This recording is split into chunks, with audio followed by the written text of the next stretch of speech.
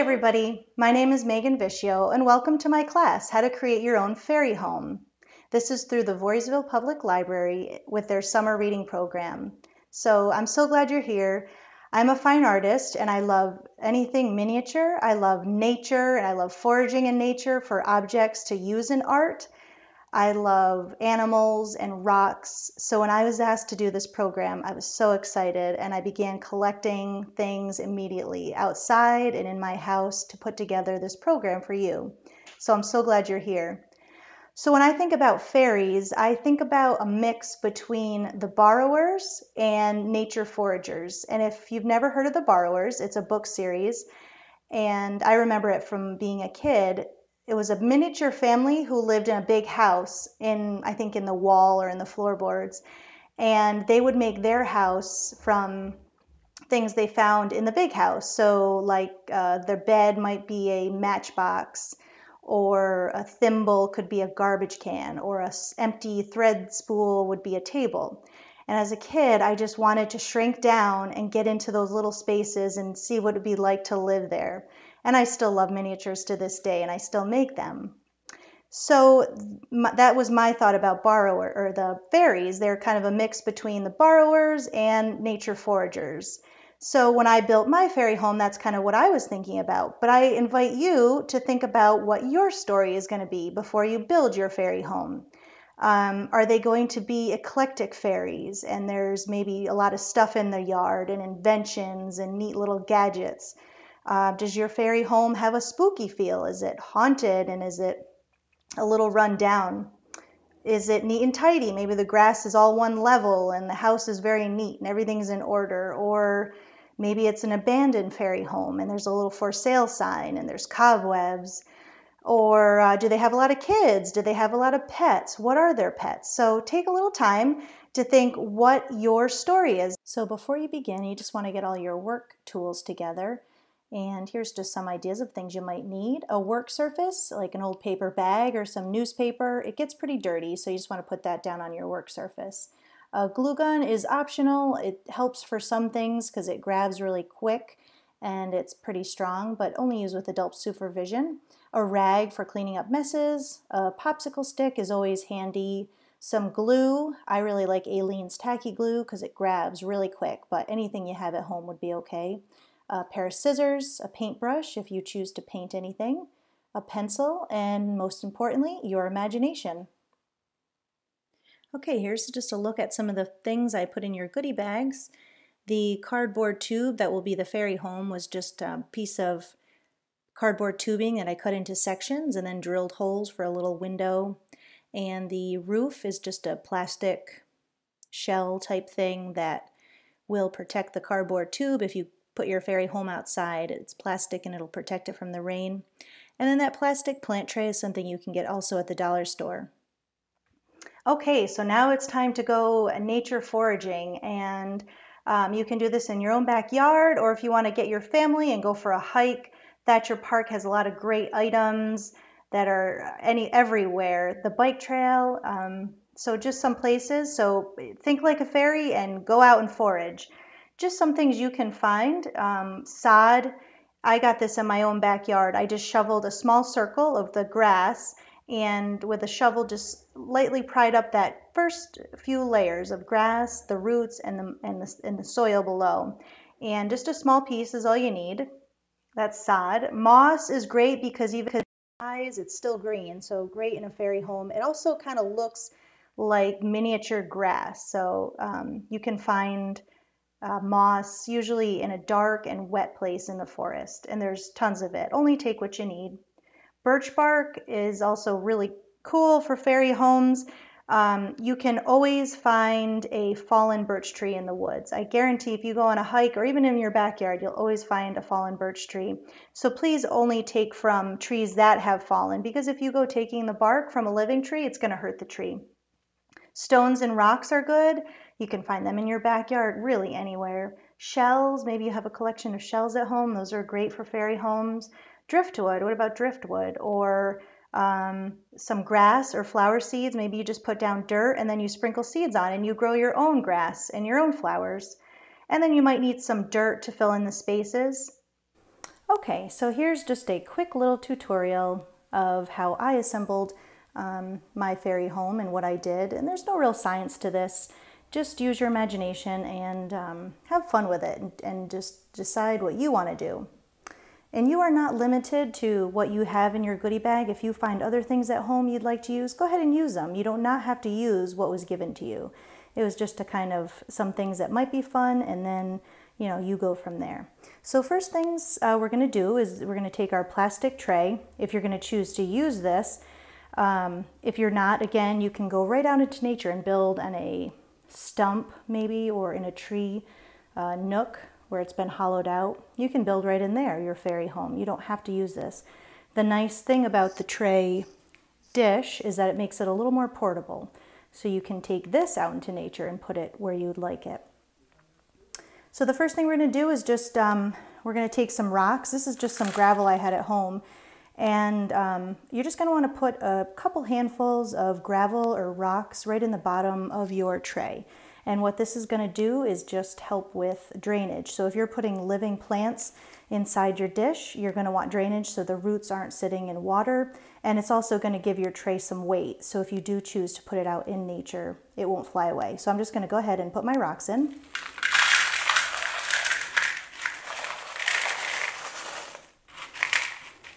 That's probably good, just enough to fill the bottom.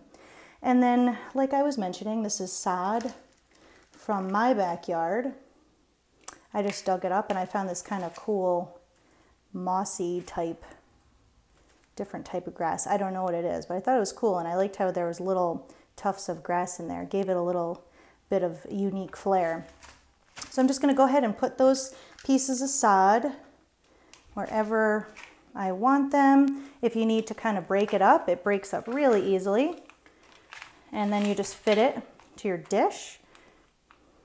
So maybe I'll put some over here. And that's okay that you're breaking it up. That's perfectly fine. Now I've got a little space right here. So again, I just take some dirt that I have from outside and I can put it right in there. And if you um, want to put some stones under where your fairy house will be, that might be a good idea because then it'll prevent the water from soaking up into your cardboard. Or if you have a big flat stone, you could always lay a big flat stone right there and then put your fairy ho home on top of it. The, you know, the less contact this, that cardboard tube has with water, the better. Um, then it won't absorb the water. So anyway, so I've got just my base here. It's nice and heavy. And now I can go and assemble my fairy home. So again, you would, in your kit, if you got the kit, you might have gotten two different types of tops. One's kind of more flat plastic dish and one, oh, there's a little bug from my, my sod. I'll just let him go. Or there's this, um, this type of like coconut roof. And again, I went with plastic. So if you're putting this outside and you're putting it on that cardboard tube, it's going to protect your cardboard tube from soaking in water because cardboard is not waterproof. So if it's in a wet environment, it will absorb that water. So you have those two types of tops um, and you have your cardboard tube. So building your fairy home, I kind of cut little windows in there. You can use that as a window if you wanted to use it as a door, you could. And what I did with mine is just covered this whole thing in a little bit of moss and a little bit of bark, the birch bark. And then it was actually moss I had here. It wasn't from nature. I think it was from a train set. Not a train set. It was from uh, making miniatures like train sets, a moss. Anyways, I covered my tube in that and I just outlined my window and my door with a little bit of stones. You want to make yourself a little door for your fairy home. You can, I just use cardboard. And I'll grab I will show you that after. I just used cardboard I cut it out and painted it brown. That was my door. You could use popsicle sticks. Um, you could even cut out a little door shape out of bark. That could be your door, but you want to have a little door for your fairy home and just cover the whole thing in whatever type of material you're going to use. When I did the roof on mine, as you'll see, all I did was I took one of these pine cones, and you guys will get these in your kit, and I just, you might be able to do it with your fingers. I just plucked off all of these scales. Now this one's coming off easy just by hand. That's good. Some of them are a little tougher and you might have to cut them off. I plucked off all those scales and I just took my roof and I went around one by one, starting at the bottom, and I used hot glue for this just because I wanted it to grab quickly. And I just glued those pine cone scales, one ring around, then the next ring around, and then the next, and then I just finished at the top. And you'll see that later in this video, you'll see what I did. So that's a way you can cover it. You can also cover it with stones, you can cover it with moss. Again, this is your imagination, this is your fairy home, so build it any way you'd like. Um, an idea I thought when I, when I had this kind of little bit shallower coconut shell roof, I thought, huh, it kind of looks like a mushroom. So I just painted it red, added a little white spots, painted that cardboard tube red, uh, white, and then it kind of looks like a little mushroom home. So that's just a, another idea. Maybe your fairy lives in a little mushroom. So now once You've got your base all set, you've got your stones in there, you've got your sod or your dirt or your rocks, whatever you're gonna add to here. And you've put your fairy home on. Then you're just gonna landscape the rest of it. And this is the really fun part. I love this part too. Um, I'm gonna move that out of there to get out of the way. This is where you can add little stones around. That'd be kind of cute to have little stones. You can make a path. And I thought this would be really cute. What if you took one of your stones? I'm going to take this one. And this is just a piece of chalk. You can draw little, oh, that's really hard on this little piece of rock. You can draw little flowers. You can draw little designs on your rocks. A little hearts or smiley faces. I just thought that would be kind of a neat idea. Or you can leave them blank, or you can flip them. Um, and then you got some of these mushrooms. These are just foam little decorative mushrooms. What's really cool about these is they just they just go right in. You might need to bend that car that tube over. They just go right in to your side. Push them right in, and then they're nice and sturdy there. And here's some other ideas I wanted to show you. This was the little bed I had, um, I used that milkweed pod. And all I did, I'm just going to get that out of the way. See, I told you it gets messy, so you're going to want to either work outside or have a, a work paper down. So all I did was took a cotton ball from my house and I wanted to tear it apart just to make it look more authentic and less like a cotton ball. And I just stuck it right in that pod. And then you can use a little blanket and I don't know, pom pom pillow or no pillow, but there's a little bed, really easy. One thing about fabric I want to show you. So everybody has these nice, neat squares, but I don't know, I don't think they look very authentic. So I just want to teach you if you want to make your fabric look a little more weathered or that it was kind of found by a fairy and used, maybe they you had an old shirt and you didn't need it anymore so it was, I don't know, given away or recycled, or you cut it up into rags, and the fairy found a little part of that shirt and was like, oh, we can use that in our houses. So what I like to do when in my house when I made my fairy home is I just took the fabric, this is not fraying too easily, and I just pulled at it and made it look a little less perfect because I didn't want my fairy house to be too neat and tidy. I wanted it to have a little bit of character. So you can just pull it, and if actually that just kind of made something cool. Just pull it. If you stretch it, it kind of does something neat. That makes it a little look a little more authentic. Also with the fabric, if you want to cut it into shapes, maybe I made a bunting flag on mine, so you could cut it into sort of like little triangle shapes, or maybe you want to make a pair of fun little fairy pants. I love this fabric. I think I put a piece in everybody's goodie bag because, well, first of all, it came from one of my favorite people, my sister-in-law Charlotte. She gave me this fabric that she had found at a an estate sale, and I just thought it was the coolest fabric, so I just love it, and I use it in a lot of things. And so that's one of my reasons it's my favorite. But then it's just such it's just such neat fabric. So you can make little fairy clothes.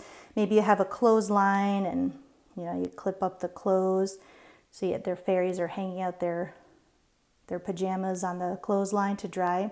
that's just another idea that you can use. Walnut shells are really cute, and I just wanted to show you, these are two little um, pieces I made, and this is a bunny in a nut and a fox in a nut. And you can actually see these both on my blog and how I made them. This is actually not a real walnut. It's a casting of a real walnut. I made a cast out of mold, uh, latex mold, and um, put clay in it. So this is actually made out of polymer clay. That's not a real nut. And then I just made a cute little bunny with a blanket sleeping inside and a cute little fox. So yeah, that you could have a little walnut shell bed or a little sink made out of that. Here's that cat's eye I was telling you about, the acorn top. If you kind of put a cat's eye in there, it almost looks like, if you can see that, just looks like water in a little bowl. That might be something cute you want to add. Oh, one thing about my fairy home, and I'll mention this again, I just kept the top separate because I wanted to add fairy lights. And this is not included in your kit, but something you can easily find. A little battery operated tea light candle or battery operated fairy lights. You can find them really anywhere. And I put them in my fairy home because I wanted it to be just lit up. And it looks really cute and cozy at night when the, when the fairy lights are on and the lights are out. If you'd like to glue it down, it might be a little more secure. You can definitely do that. And of course, you can always lift it up the whole fairy home and put your lights right in that way. Just remember if you're going to put some sort of fairy light in there that it is battery powered and not a flame. Here's just a quick little tour of the fairy home that I made. You can see the little milkweed bed, the bee bath, the bird bath. There's the lights inside.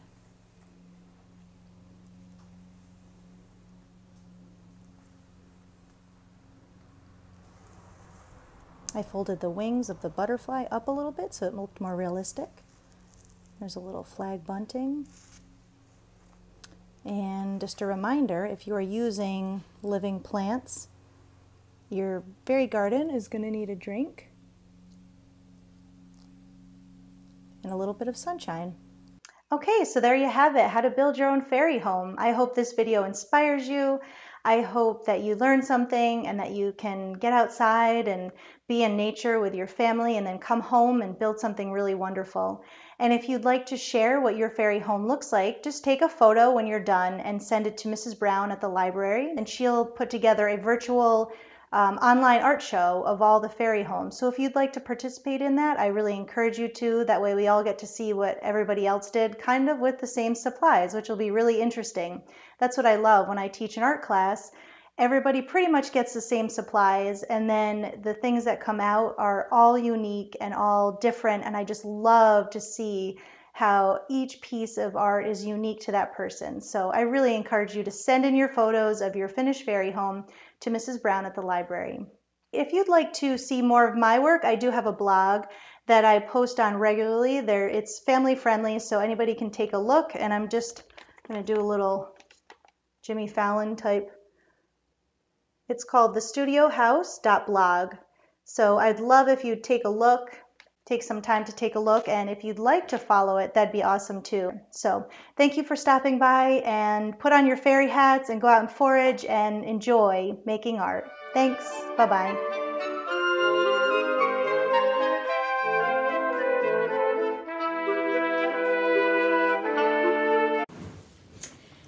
It's Mrs. Brown from the Voorheesville Public Library.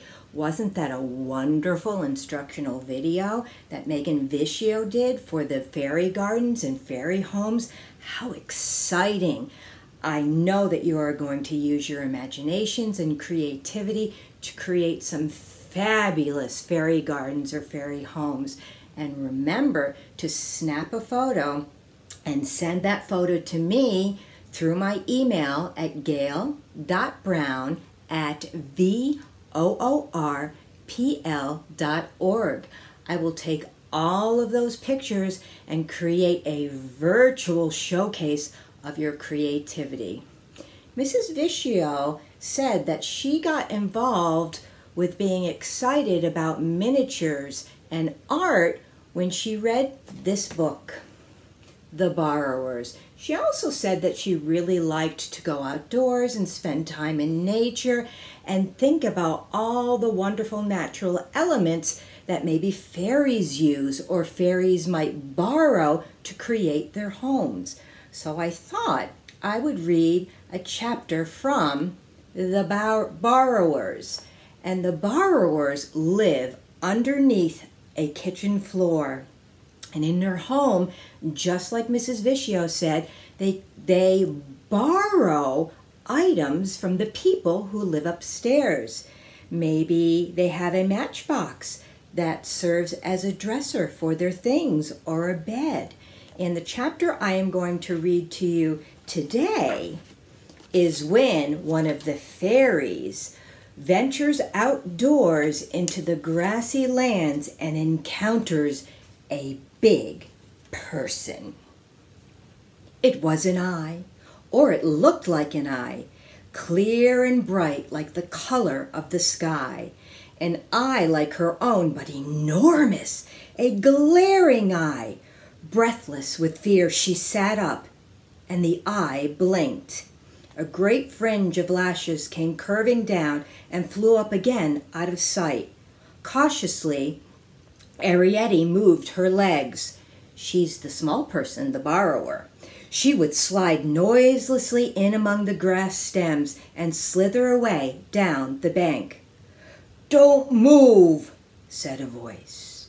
And the voice, like the eye, was enormous but somehow hushed and hoarse like a surge of wind through the grating on a stormy night in March. Arrietty froze. Oh, so this is it, she thought. The worst and most terrible thing of all. I have been seen. Whatever happened to Eggletina will now almost certainly happen to me. There was a pause, and Arrietty, her heart pounding in her ears, heard the breath again, drawn swiftly into the vast lungs. Or, said the voice, whispering still, I shall hit you with my ash stick. Suddenly, Arrietty became calm. Why? she asked. How strange her voice sounded. Crystal thin and harebell clear, it tinkled on the air. In case, came the surprised whisper at last. You ran toward me quickly through the grass, in case.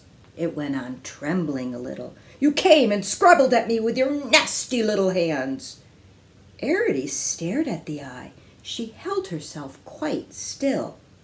Why? she asked again, and again the word tinkled. Icy cold it sounded this time, and needle sharp.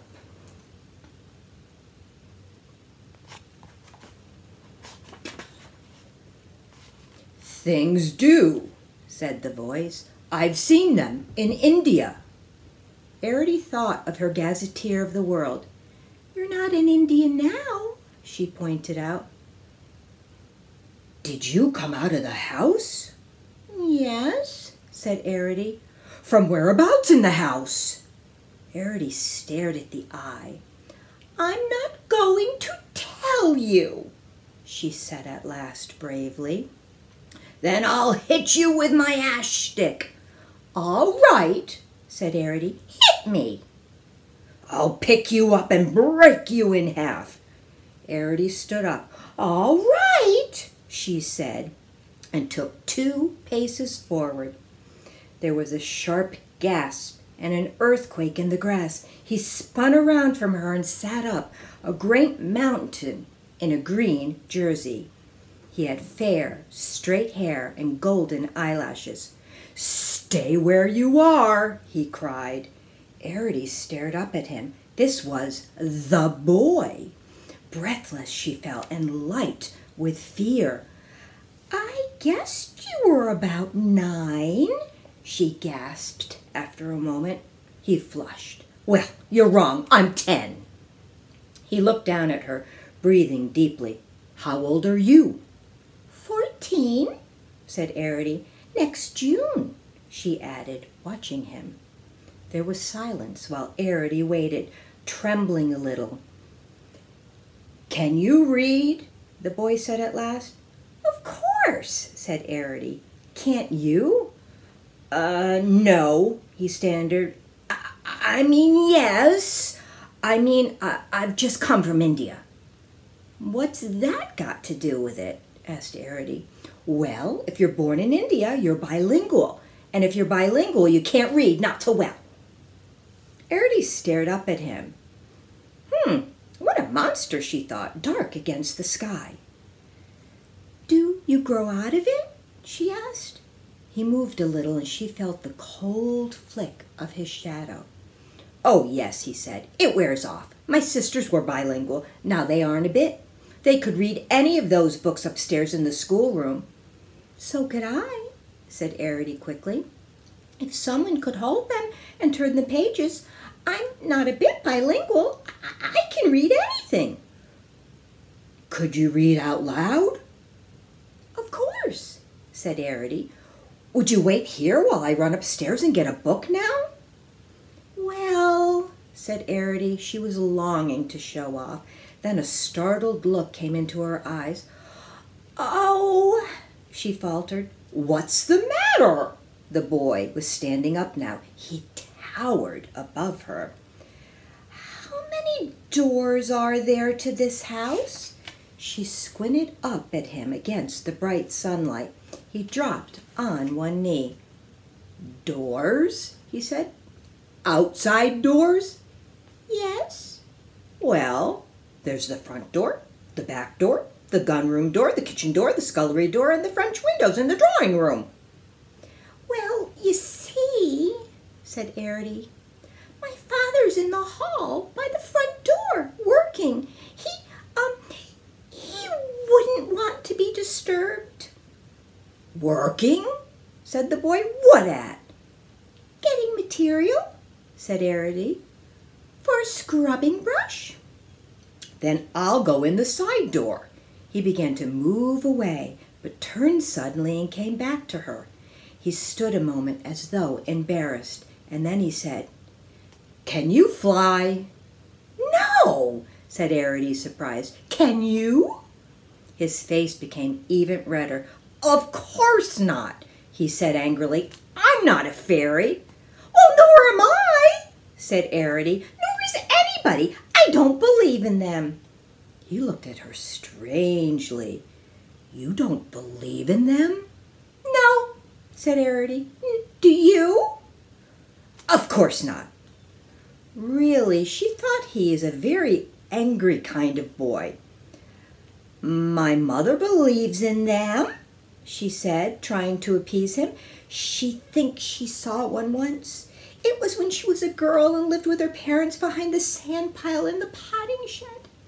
He squatted down on his heels and she felt his breath on her face. What was it like? he asked.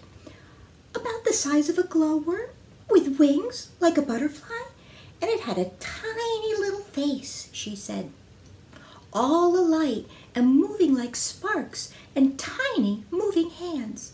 Its face was changing all the time, she said, smiling and sort of shimmering. It seemed to be talking, she said, very quickly, but you couldn't hear a word. Oh, said the boy, interested. After a moment, he asked, Where did it go? It just went, said Arrietty. When my mother saw it, it seemed to be caught in a cobweb. It was dark at the time, about five o'clock on a winter's evening, after tea. Oh, he said again, and picked up two petals of cherry blossom, which he folded together like a sandwich and ate slowly. Supposing, he said, staring past her at the wall of the house, you saw a little man, about as tall as a pencil, with a blue patch in his trousers, halfway up a window curtain, carrying a doll's teacup. Would you say it's a fairy? No, said Arrietty. I'd say it was my father. Oh, said the boy, thinking this out. Does your father have a blue patch on his trousers? Not on his best trousers. He does on his borrowing ones. Oh, said the boy again.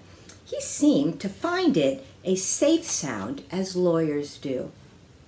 Are there many people like you? No, said Arrietty. None. We're all different. I mean as small as you. Arrietty laughed. Oh, don't be silly, she said. Surely you don't think there are many people in the world your size. There are more my size than yours, he retorted. Honestly, began Arrietty helplessly, and laughed again. Do you really think, I mean, whatever sort of a world would it be? Those great chairs, I've seen them. Fancy if you had to make chairs that size for everyone. And the stuff for their clothes, miles and miles of it. Tents of it. And the sewing, and their great houses reaching up so you can hardly see the ceilings. Their great beds, the food they eat, great smoking mountains of it, huge bogs of stew and soup and stuff. Don't you eat soup? asked the boy. Of course we do, laughed Arrietty. My father had an uncle who had a little boat, which he rowed round in the stock pot, picking up flotsam and jetsam. He did bottom fishing too, for bits of marrow until the cook got suspicious through finding bent pins in the soup. Once he was nearly shipwrecked on a chunk of submerged shin bone. He lost his oars and the boat sprang a leak, but he flung a line over the pot handle and pulled himself alongside the rim. But all that stock, fathoms of it, and the size of a stock pot. I mean, there wouldn't be enough stuff in the world to go around after a bit. That's why my father says it's a good thing they're dying out. Just a few, my father says. That's all we need to keep us. Otherwise, he says, the whole thing gets. Arrietty hesitating, trying to remember the word. The whole thing gets exaggerated, he says. What do you mean? asked the boy. To keep us. So, if you want to learn more about the borrowers, you could check out this book from the library. And once again, this is how Megan Viscio first got her inspiration for loving things that are small. Enjoy your time creating your fairy gardens and your fairy homes. And don't forget, send me a picture of your magical creation. Have a wonderful day.